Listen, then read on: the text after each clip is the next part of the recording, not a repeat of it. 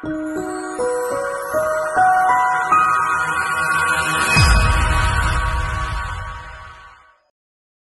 untuk example 13b, soalan bagi kepada kita function dan suruh cari domain dan range untuk f and f inverse.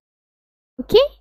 Now, sebelum kita pergi kepada soalan, kita kena faham teori ini yang mengatakan bila kita ada domain, domain untuk um, f, domain untuk f sama dengan range untuk F inverse. Kita terbalik. Kalau range untuk F sama dengan domain untuk F inverse.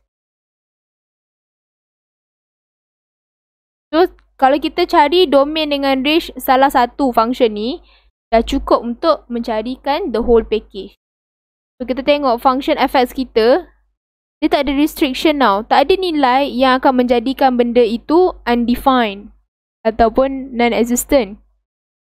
Untuk fx ni dia ada straight line kan. Jadi semua okey, tak ada masalah. Buat negatif ada value, positif ada value, kosong ada value, semua ada value.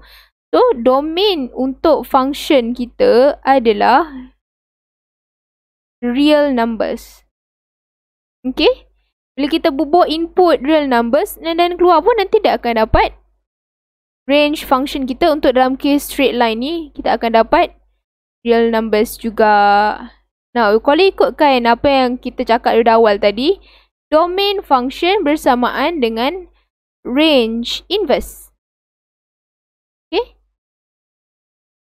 Dan range function bersamaan dengan domain, domain f inverse.